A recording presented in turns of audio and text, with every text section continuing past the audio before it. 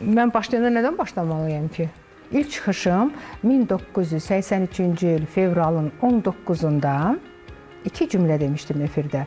Hörmətli tamaşaçılar, saat 10-da Moskvadan zəngli saat, saat 11-də isə Sovet İttifaqına xidmət edirəm proqramı translyasiya ediləcək. Bu sözləri bir də rusca dedim. Əlbəttə ki, yadımdadır. Televiziya aparıcılarında nəyi tənqid edirsiniz?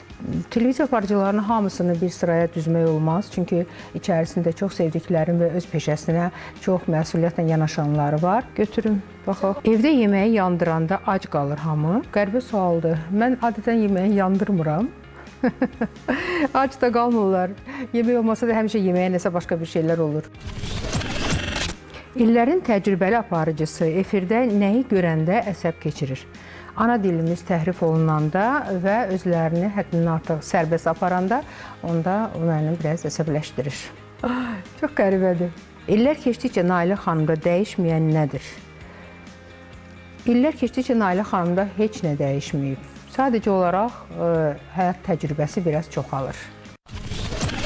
Uzun illərdir televiziya aparıcısısınız sizə nəyi qazandırdı və nələri sizdən aldı? Televiziya məndən e, heç nəyimi almayıb. E, sevə-sevə çalışmışam işlədiyim illəri. Mənə qazandıran da çox şey oldu. Çox təcrübə qazandım, e, tamaşaçı sevgisini qazandım. Biraz böyük çıxır, sevmirəm bunu deməyə, amma mən tamaşaçılarıma çox minnətdaram.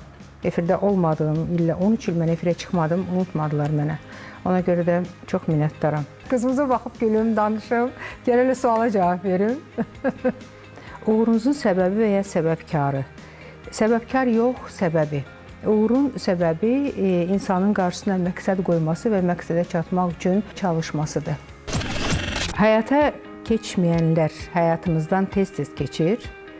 Mən deyərdim, valla həyata keçmədiyi bir arzum olmayıb. Çox qəribədir ki, Mən Allahımdan o qədər razıyam ki, mənim istədiyim hər şey həyata keçib və indən sonra da keçər inşallah. Yetər ki, buna inanaq ki, həyata keçəcək və bu yolda çalışaq. Kiçik nələr nələrə ora kiçik iradlar. Bunu Nailə İslamzadə yaşını etiraf edə bilər. Əlbəttə ki, hər yerdə yazılıb. Mənim 60 yaşım var. Mənim ürəyimdə heç vaxt söz saxlamıram. Ailələr talelərdə ailələrin taleyi necə oldu? Ailələrin taleyi necə oldu bilmirəm. O ailələr o zamanda qaldılar. Yəqin ki, verilişin taleyini soruşmaq istəyirsinizsə, gördüyünüz kimi efirdə yoxdur. Ay. Nəsə maraqlı sualdır, yerə düşdü. Axırıncı sualdır. Xəbər aparıcısı yoxsa əyləncəli verilişlər sizə daha yaxındır? Bilirsiniz, bunlar ayrı-ayrı şeylərdirlər. Bunlar ayrı-ayrı janrdır xəbər aparıcısı. Mən həm xəbər aparmışam, həm əyləncəli proqramlar aparmışam, eyni zamanda dövlət tədbirlərini aparmışam və müəllif proqramda aparmışam. Aparıcı gərək hər bir verilişdə ona uyğun geyinsin, ona uyğun hərəkət eləsin, ona uyğun səs tembri ilə danışsın. Mən belə deyərdim. Ona görə hansı yaxındır, hansı uzaqdır deyə bilməzdim.